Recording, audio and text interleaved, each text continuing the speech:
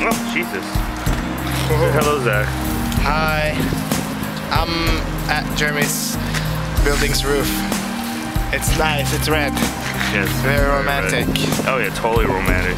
Don't fall off. Actually, red's kind of sexual, not romantic. Is it sexual? Yeah, like Yeah. red light district. Yeah. Yeah. Like right now, you look like a prostitute. I thought the red light district was because of the stops.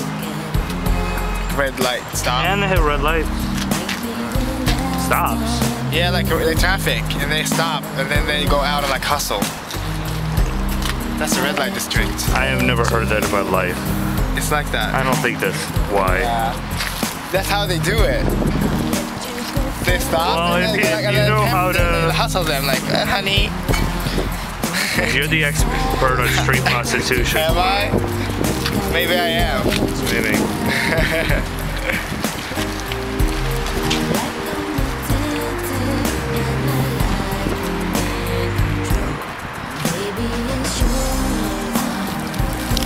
I take a picture of you?